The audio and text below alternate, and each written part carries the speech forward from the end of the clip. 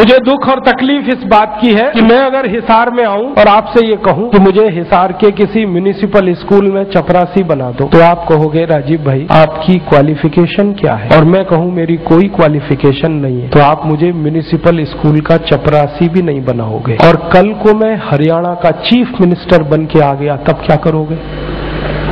उसी zero qualification पर मैं हरियाणा का अगर चीफ मिनिस्टर बनकर आया तो आप मेरे गले को मालाओं से लाद दोगे और जिंदाबाद इतनी करोगे तो सारा शहर बहरा हो जाए। ये विडंबना है हमारे देश की।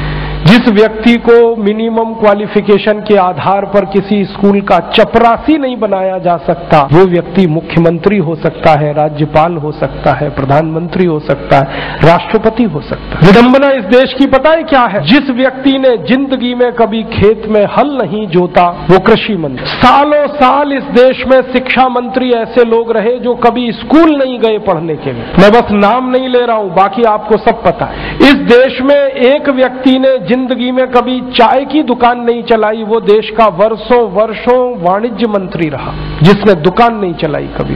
फाइनेंस का जिसको एबीसीडी नहीं आता, वो सालों साल इस देश में वित्त मंत्री रहता है। जिसने कभी अपने बेटे और बेटियों को भारत की सेना के लिए भेजा नहीं कुर्बान होने को, वो देश का रक्षा मंत्री हो सकता है। और जिसको अपनी रक्षा करने के लिए सैकड़ों जवान लगते हैं, वो देश की क्या रक्षा करेगा, सोचो आप।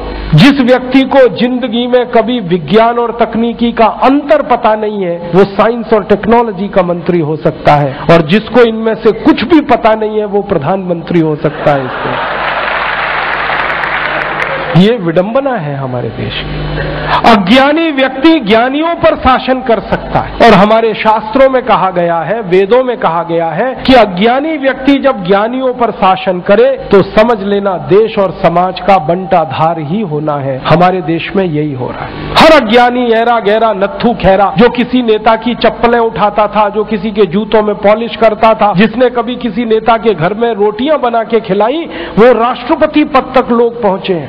ऐसी स्थिति हमारे देश में। उनकी क्वालिफिकेशन ही एक है कि कभी किसी बड़े नेता के रसोई में रोटियाँ बना के खिलाई तो राष्ट्रपति हो जाओ भैया। ऐसी बंदर बांट मची है इस देश में। और ये उस देश में जिसकी आज़ादी के लिए सात लाख बत्तीस हज़ार लोग कुर्बान हुए उस देश में। मुझे बहुत दुख होता है, तकलीफ़ होती है। अभी एक सच्ची घटना मेरे साथ घटित हुई। मैं एक दिन कानपुर गया था तो कानपुर के रेलवे स्टेशन पे उतरा। उतरने के बाद शहर में बाहर आने के लिए नीचे पुल पर से उतर के आया। तो एक छोटी सी चाय की दुकान थी। उस पर एक बेटी और एक माँ और एक छोटा सा बेटा आपस में बात कर रहे थे। वो क्या बात कर रहे थे? वो कह रहे थे, माँ, हम गरीब क्यों हैं? तो कान में मेरे शब्द पड़ गए। मैंने कहा, ये इस तरह का प्रश्न कोई अपनी माँ से पूछे? तो मुझे लगा, ये कोई साधारण लोग नहीं है। कुछ तो इनमें असाधारणपन है। चल के पूछा जाए, कौन लोग हैं? परिचय लिया जाए। तो मैं गया उस दुकान पे। मैंने पूछा, आप लोग कौन है? तो उन्होंने कहा कि हम तात्या टोपे के परिवार के लोग